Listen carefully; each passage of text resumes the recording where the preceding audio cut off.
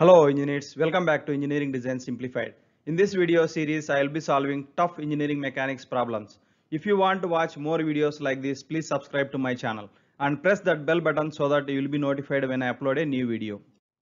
Today's problem is a vertical load P is applied at end B of rod BC. A. Neglecting the weight of the rod, express the angle theta corresponding to the equilibrium position in terms of P, L and the counterweight W. B. Determine the value of theta corresponding to equilibrium if P equal to 2 into W.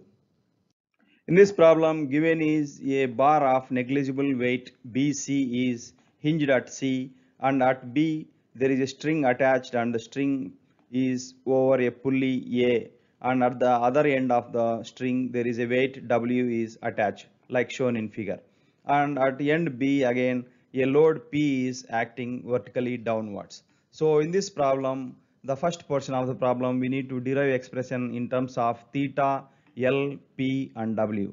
In the second portion of the problem if P equal to 2 into W we need to find the theta. Let us see in the coming slides how to solve this problem.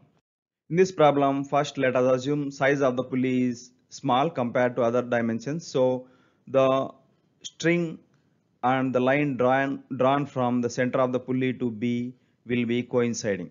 So if that is the situation, then a line drawn from C onto this string will divide this triangle ACB into two halves like shown in figure. So angle between this line and this string is 90 degrees. So T is acting towards this direction that is the tension in the string. So if the, there is a weight W is attached on the other side of the string then T equal to W. So let now let us take moments about C. So T is acting towards this direction and P is acting vertically downwards. So moments about C can be written as sigma MC equal to 0. First let us take moment due to P about C. So moment due to P about C can be written as P into the horizontal distance from B to C that is L cos theta. So this angle is theta, this is also theta. So from here to here is L cos theta. That is written here P into L cos theta.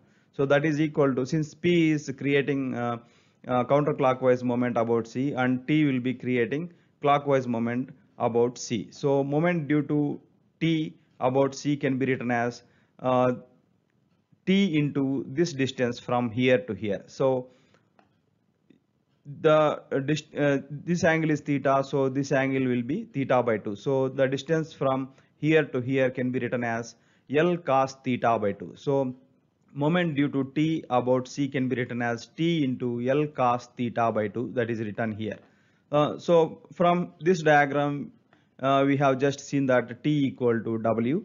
So let us substitute t equal to w in this equation and also cos theta we can write cos theta equal to 2 cos square theta by 2 minus 1 so after substituting this uh, in this equation we get p into l into 2 cos square theta by 2 minus 1 equal to w into l cos theta by 2 so after simplification we get uh, this equation 2 cos square theta by 2 minus 1 minus w by p cos theta by 2 equal to 0 after further simplification of previous equation, we get cos square theta by 2 minus w by 2p cos theta by 2 minus 1 by 2 equal to 0. So this is the quadratic equation. So the roots of this equation can be written as cos theta by 2 equal to w by 2p plus minus square root of w square by 4p square plus 4 into 1 into 1 by 2 divided by 2 into 1.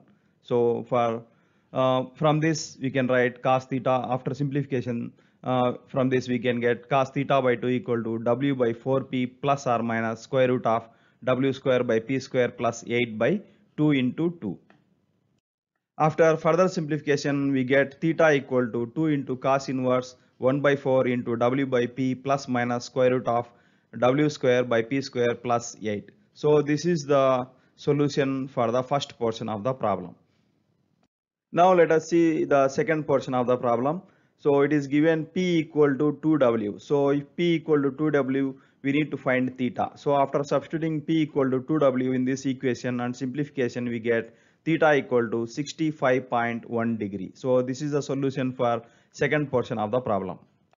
That's all for today's video. If you like this content, please like, share and subscribe. Thanks for watching.